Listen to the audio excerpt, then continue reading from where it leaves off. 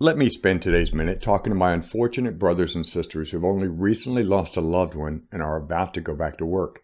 I'm going to ask you for a little patience and understanding with coworkers. Why? Because there will be those who will say things that will make you want to scream or resort to a good old fashioned throat punch. Someone might comfort you by saying, You're strong, you'll get over this, or Your loved one is in a better place now, or even, You're young, you can always remarry. Try to remember patience and understanding.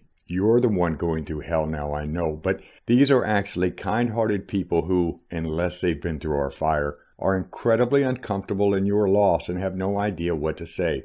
Like most of us, though, they were raised to rush to and to give comfort to those in pain, to say something that will make it all better. If they only knew the best thing to say is just nothing, we would all be better off, right?